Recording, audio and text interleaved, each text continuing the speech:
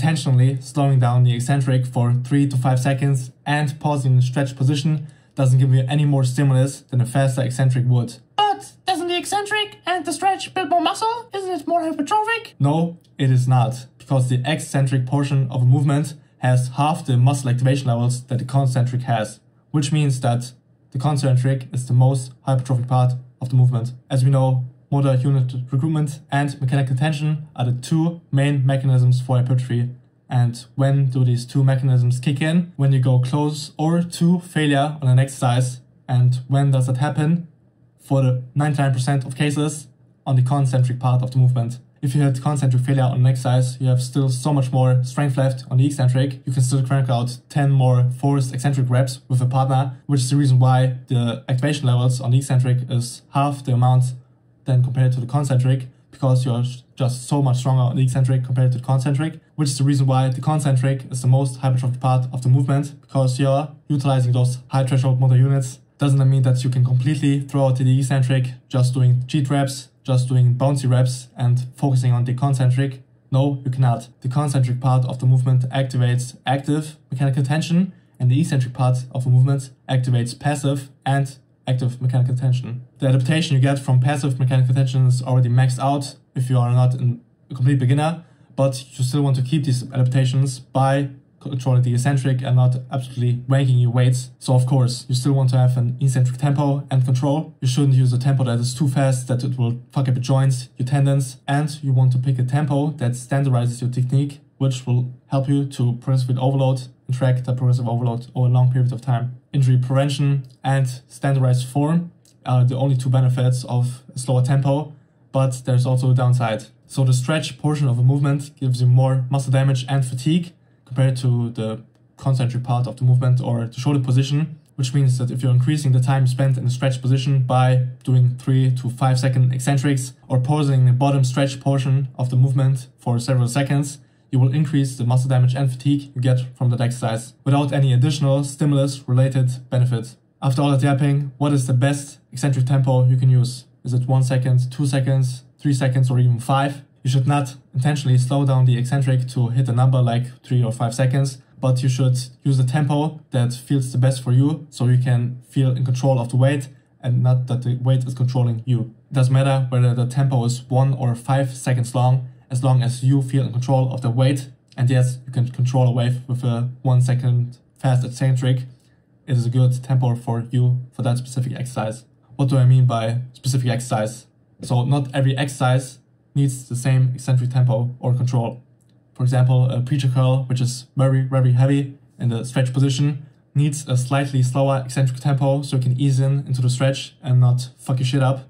And because the biceps has the best leverage over the other elbow flexors in the stretch position, it is actually a benefit if you milk that time that you spent in the stretch position by deliberately or intentionally slowing down the eccentric. Now, on the other hand, if you are doing a dumbbell hammer curl, for example, where you want to hit the brachialis and the brachioradialis, which already have more leverage than the biceps because of the neutral hand position and because the dumbbells are the hardest in the shortened position due to gravity, you can just horse cock the weight and not focus too much on the eccentric. As I mentioned in the intro, pausing in the stretch position or even contracted position doesn't, for the most part, give you any additional hypertrophic benefit. But it could be utilized to an advantage if you are a smart cookie and you know which muscles have the best leverage in the stretch position or shorten position. For example, the chest, quads, biceps, and calves actually benefit from stretch mediated hypertrophy, which means that if you pause for just a brief moment in the stretch position, you could get additional benefit, hypertrophic benefit. Pausing also has the benefit of again standardizing your range of motion maybe injury prevention due to you getting more comfortable in that stretch position. Stretch position. The fuck was that, brother? Which could save you on a bad day when you fucked up your eccentric and you didn't pause because you've owned that weight before and did the pause in that stretch position. Your tendons, ligaments, joints, blah blah blah, got stronger and you will not injure yourself due to uh, abrupt movements. I think that was correct English. We don't live in theory bodybuilding land. Let's come to some practical examples.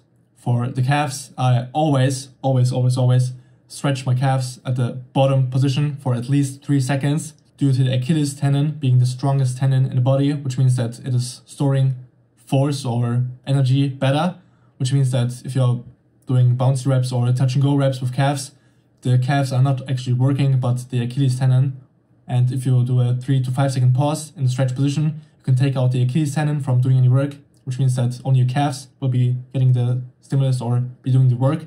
And additionally, because the calves actually benefit from stretching with hypertrophy, the extended pause in that stretch position gives you more stimulus. Now, on the other hand, for short and biased exercises and muscles that benefit from those type of exercises, for example, the glutes and hip thrusts, you want to pause in the contracted position for just a brief moment or a few seconds to really own that position and spend the most time there where the muscle has the best leverage and where it can produce the most growth. It wouldn't make any sense to pause in the stretch position or in the bottom position of hip thrust because the muscle has no tension or leverage there, which means that you should use the eccentric to get as fast as possible to the concentric again to pause there and not in the stretch position, which wouldn't give you any benefit. Now, to a unique example, I've always paused my chest exercises or bench presses to spend more time in the stretch position, to standardize my form, etc.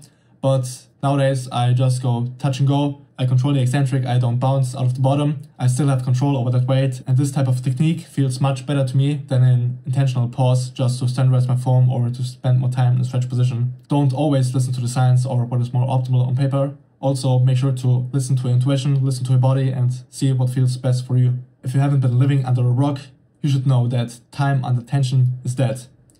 Being as explosive and as powerful on the concentric part of the movement is so important if you want to get the best hypertrophic results. Mechanical tension, which is one of the main mechanisms of hypertrophy, only kicks in if you involuntarily slow down on the concentric part of the movement, which means that you want to push the weight off of you with as much force, with as much speed as possible, but you just cannot because you're fully exhausted the energy that your muscle fibers have had for that set and you cannot push yourself anymore. And this process, as I said, can only happen if you involuntarily slow down on the concentric. This means that you have to voluntarily be as explosive as possible to the point that you cannot be. This should mean that you should yank the weight around, but be as explosive as possible with as much control as possible. Move the weight with your actual muscle and not your whole body. Now let's come to some unique situations where faster tempo, slower tempo, or even skipping the eccentric would be of benefit. My goal right now is to get my spinal erectors as thick and as dense as fucking possible. Therefore, I listen to the person that has the most knowledge on this topic, Jordan Peters. I asked him personally what I should do to achieve a thick look, and he recommended stiff leg deadlifts while skipping the eccentric completely. So this means that I'm only concentrating on the concentric, saving my energy. As we know, the eccentric part of the movement takes our energy away due to the increased muscle damage and fatigue, which means that I can only focus on the concentric, which John Peters deems as holy for spinal erectors, and skip out the eccentric. John Peters said it, so I will fucking do it. You can bet my ass on it. You can have whatever you want, my sword or my ass.